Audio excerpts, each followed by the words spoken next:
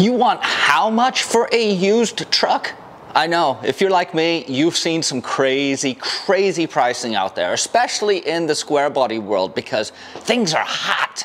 Well, today, I'm gonna share with you guys what I have paid for the one, two, three, four square bodies I've purchased within the last six months, where I see the market going, and what I think the silver lining is for those of us who are fans of these awesome trucks. Let's go get it.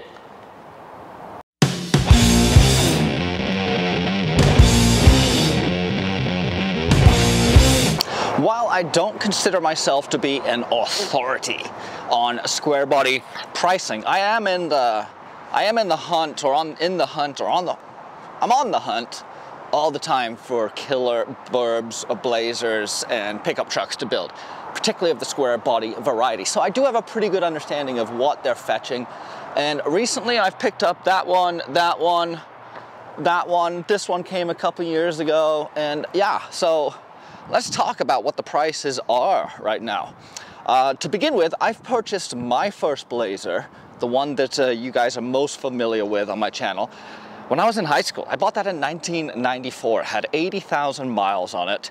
Uh, it was bone stock apart from 33-inch uh, tires and some window tint, and I paid $7,000 for it.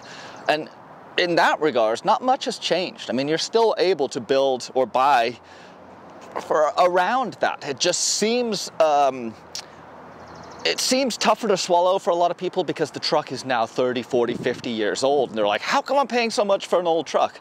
Well, because it's an old truck and they don't pay, make them anymore. Uh, so the pricing I paid in the 90s, that was pretty standard for a while. The pricing did drop.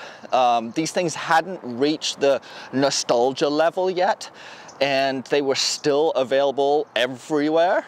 Uh, Gov Liquidation and Gov Planet and Iron Planet started liquidating the military versions, which meant that they were available for super cheap if you knew how to work the auctions. So all that led to pricing kind of stagnating for a while. These things kind of flew under the radar. Uh, the Gen 1 Broncos in particular garnered all of the, the, the classics and the crazy pricing. I knew it was eventually going to come home on the square body side. I just didn't expect it to take as long as it has. Uh, what we're seeing right now is uh, just this major resurgence in popularity due to guys who are my age, who grew up with these trucks, grew up being driven around in these trucks, and honestly now want them themselves. And they've got money and they're willing to pay for it. So let me show you what I have purchased recently. This guy over here was my acquisition just a couple days ago. This is a 73. This is probably the most desirable year you can get. If you're in California, this is a pre-smog variety, meaning that I do not need to worry about smog. While that's not an issue for you guys in other parts of the country, in California, that can dramatically drive up the price. It's also a full convertible, the first year that GM offered the square body with these iconic square body lines. It's a full convertible, it's got the beautiful round eye, and this one in particular is in excellent condition. It was a uh, southwestern US truck, so minimal rust, if anything. I haven't really found any rust, even in the traditional spots that you'd expect to see it. It's remarkably clean. Body is straight. I've got the doors, I've got the roof, I've got the tailgate, and like I mentioned, there, there's just, there's barely any rust in here. And for, for a build, for a truck like this, I'm gonna be throwing a ton of parts on it anyway. So starting with something that's stripped down like this is actually, it's a win for me. I paid 6,000 for that guy. And while that may seem like crazy to some people, it's a 50 year old classic truck with clean paperwork, clean body, no rust, no crazy history of accidents and repairs. I mean, it's got some stuff, but nothing crazy. There's no, I've got good bones and a good skeleton there to start with. This next one, this is a 1990. This is a 1990 Suburban. This one came fully outfitted. So it's got the rear AC, it's got uh, the small block V8, uh, the 241 transfer case, half ton running gear, Lots of cool stuff. I, I don't know what I'm gonna do with this one as much as I just couldn't pass it up because it has great parts. It's a barn door. Uh, it's got the beautiful front grille that I've always liked. Between these two, these are my favorites. And uh, this will make a killer parts truck if I don't decide to build it up because it has all the options. I paid $2,000 for this guy right here.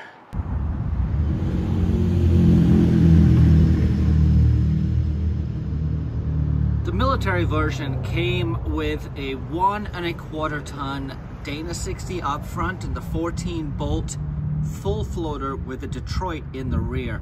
It's part of the reason that these are so attractive and the fact that it's a one ton frame and a long bed truck. So these are worth money any day of the week.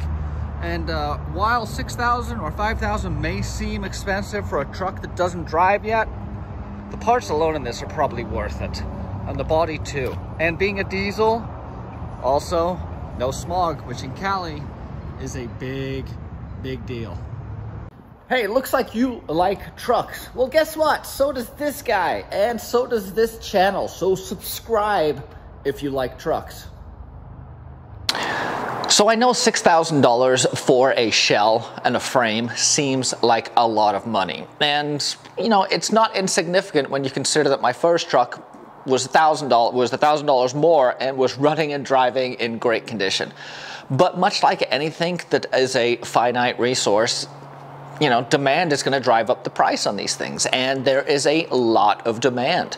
I think what we're seeing is a culmination of many, many factors. COVID has driven up the prices of all new vehicles and correspondingly dragged up the prices of used vehicles with it.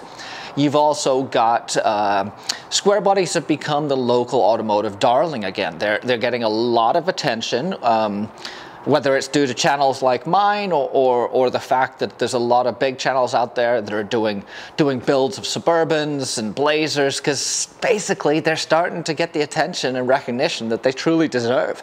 I've, uh, I've personally been waiting for years for the squares to uh, to rise to that level of collector status where people were throwing crazy money at them just because they thought they were going to disappear. We do have a large pool. These things were made from 73 to basically 91, um, not counting the first gen. Uh, 69, 68 through 72. So you can find these trucks everywhere. They're gonna be, you know, hit and miss as to the condition you find them in, but they're out there what we're seeing now is the attention of the automotive industry moving over to them. There's been a couple of very big sales um, that has gone viral and, and, therefore people are judging the, the, the basis of their pricing on some of these viral builds, which I think is ridiculous. But if you notice, there, there are trucks out there that when people are asking crazy prices, they sit. They sit for a long time. And so don't be alarmed if you're seeing guys asking $20,000 for a bare bones stock, um, slightly rusty K5 Blazer. It's gonna sit there. If it doesn't, some sucker bought it. So just sit tight and wait because there are deals out there.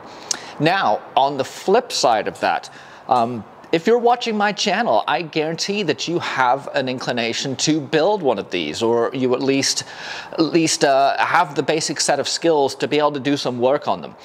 And that's where the real deals are. You see, you can buy a truck that's not running, whether it's, you know, missing a transmission or it just it hasn't started and the owner's moving on from it, you can still buy those trucks for pretty cheap. I mean, that, that square body Suburban I bought out there for $2,000, yeah, it needs some work, but could I get that thing running and driving for a couple grand? Absolutely. And then I've got a $4,000 square body Suburban, barn doors, that runs and drives. It's not going to be a showstopper. It's not going to have all the stuff that, uh, that I put in my um, K30 burb, but it's $4,000. When I built my K30 burb, the parts list came in at over 75K. So recognize that you, have a huge swing of pricing. Um, I don't foresee it slowing down for a while. I think this, this new crazy pricing is here to stay. And uh, I kind of I welcome it. You know, if if people want to spend money on these builds, I'm more than happy to build trucks for that need.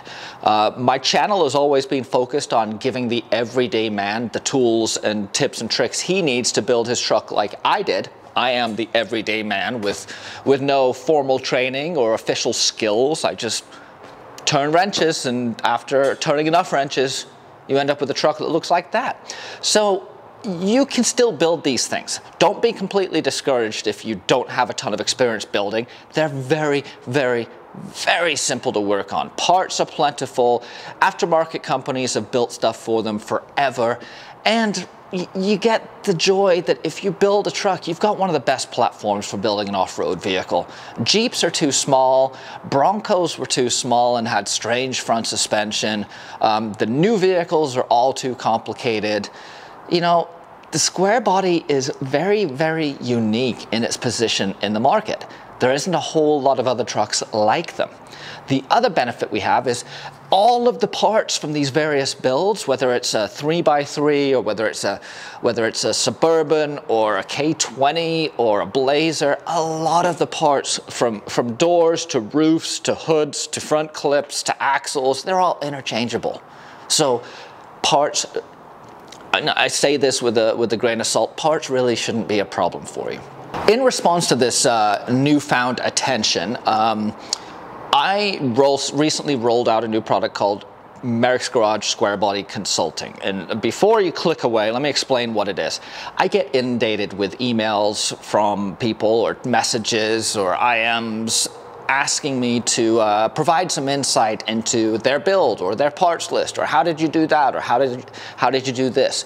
Um, I, I, endeavor to answer as many of those as I can. They often are asking the same general questions and I will preface this by saying all of the answers are on my YouTube channel, from how to LS swap a truck, to how to put an axle in it, to how to link it, to you know what to do when you roll it. I, I've got hundreds of videos on square body. So if you have a question, I guarantee that it's in my channel somewhere. Now that said, I do recognize that that's a lot of videos to wade through. And so if you want to spend an hour with me, uh, I offer build consulting. It's 250 bucks for an hour. We'll sit down, send me your build list, send me your questions, send me your objectives. I go through it all before our meeting. We sit down on the phone, we go through your objectives, we get you a clear plan of attack, we figure out where you should spend your money, where you shouldn't spend your money, and uh, yeah, you, you've got an hour to pick my brain and to get my input either on your recent acquisition or what you're looking for or the next step in finishing your build. What, what I hate to see is people buying these vehicles with the expectation they're going to drive like a modern truck and then being very disappointed when they drive drive like absolute crap and throwing tons of money on them to make them drive well without really understanding what makes these things drive so poorly in stock form and how to make them really perform in aftermarket modified form. So if you are interested in getting in my head about how I build these, go check out my website, merricksgarage.com. I have the square body consulting in my store uh, along with the seat brackets. And uh, this isn't a hard sell. This, is, this isn't to say stop sending me emails. It's just to say like, hey, if you have questions that require uh, a more in-depth conversation, I'm more than happy to have those conversations. And what I provide at the end of it too is I'll give you the whole parts list. It's, it's like a 200 list, 200 item list of everything I could think of that I put in the Suburban, from, from fittings to, um, to alternators to the bracket I use for the air conditioner. It's all in there.